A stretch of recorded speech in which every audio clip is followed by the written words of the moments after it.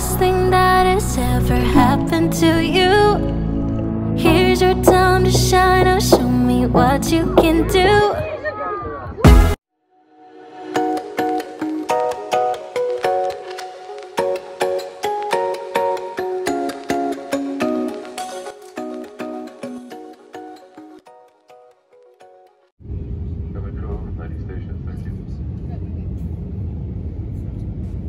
Hello guys! Welcome back sa aming channel.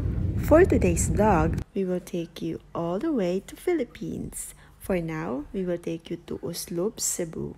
Come on guys and join us. Alex! Bless you. So from Kuala Lumpur, Malaysia, we flew all the way to Singapore and from Singapore to Cebu. And we are now in Cebu International Airport. Sobrang pagod nga naming tatlo kasi we didn't sleep that much during our layover in Singapore. And yeah, we are finally in Cebu City and we are on our way to our hotel. hello. Alexi, hello.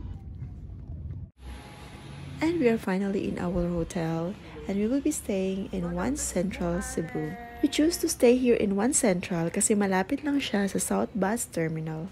At dahil pupunta nga kami ng Uslub, mas malapit na lang kami sa bus station. And so this is their hotel lounge and we are now checking in. And this is our room. We have two beds. And shout out sa Cebu Pacific kasi nasira yung luggage namin. But for now guys, good night muna. And this is our first morning in Cebu City. And we're waiting for our turn to eat our buffet breakfast. So, meron silang salad. And meron silang pandesal. May mga desserts sila. They also have the breads, rice, chop suey, pansit, and a lot more. So, come on, let's eat, guys! Sobrang namiss ko talaga ang pandesal.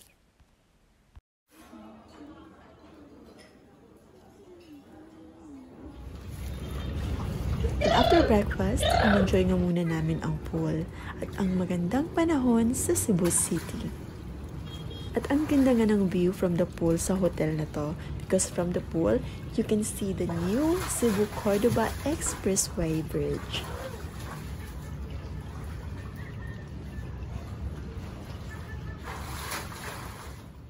And for our second day in Cebu, we will take you to Slub Cebu. So in South Bus Terminal, bumili kami ng bus ticket papuntang Oslo. Alex, your turn. Yay!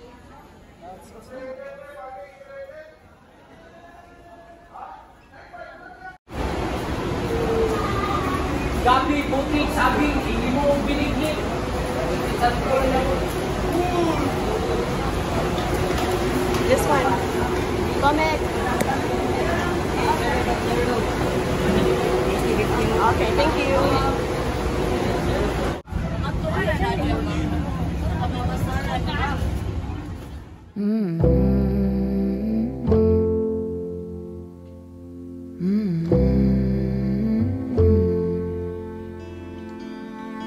Where is the line between dreaming and feeling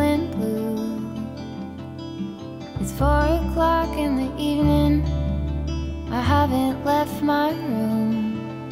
But the truth is, if I'm honest, I feel stuck here in the middle.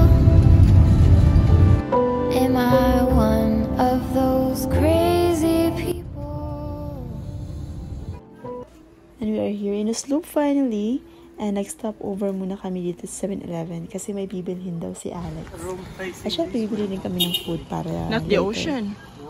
And we are on our way to our hotel here in Oslo. And we will be staying in Babylon Hotel. So, our whale shark watching will be tomorrow morning. So, andito na kami sa Oslo a day before kasi kailangan na yung pumunta doon ng maaga. So, we will be staying in the cheap hotel here in Oslo kasi one night lang naman kami magsistay and wala nang problema sa aming tatlo kasi hindi naman kami mapili. Hi, good afternoon.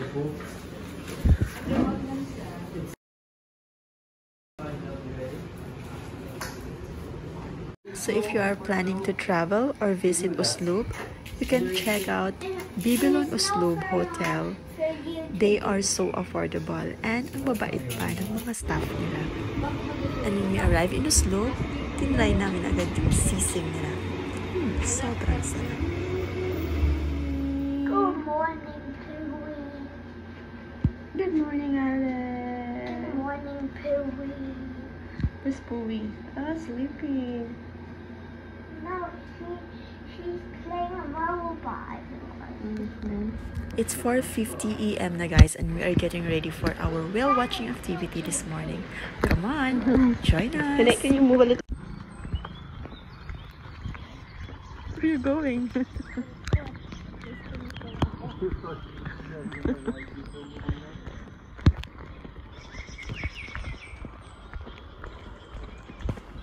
so we are ready na guys. We have our waterproof bag, our swimming clothes. At remember guys, if you want to have a close encounter with the whale sharks, dapat hindi kayo gumamit ng sunblock. Here in the entrance na, and as you can see, sobrang taas ng pila. You will proceed downstairs at the waiting area and please wait for your priority number to be called again. So I survived na nga the pila and we paid 500 per person for the entrance. And ito na nga, we are getting ready for our close encounter with the whale sharks. As you can see, yung mga boat na sa unahan kasi andun yung mga whale shark. Because people here in Oslo were feeding the whale shark early in the morning. Kaya pumupunta sila sa area na yan.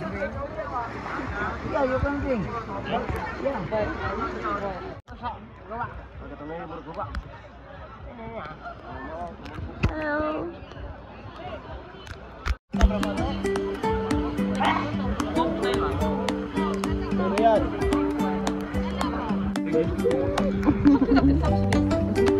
Alex, are you excited?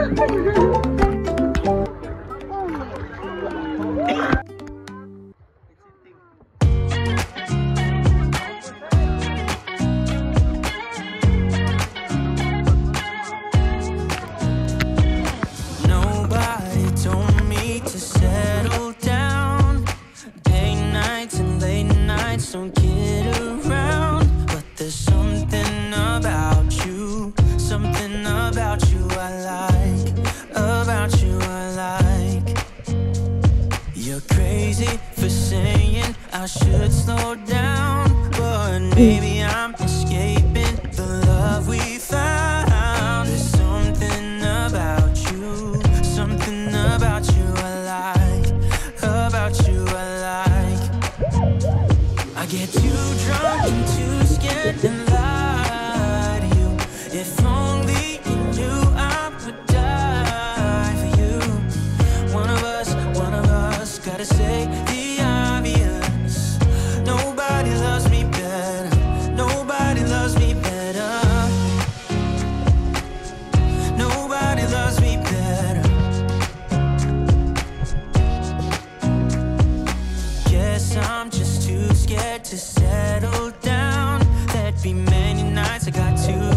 And almost left town. But there's something about you, something about you I like, about you I like. I get too drunk and too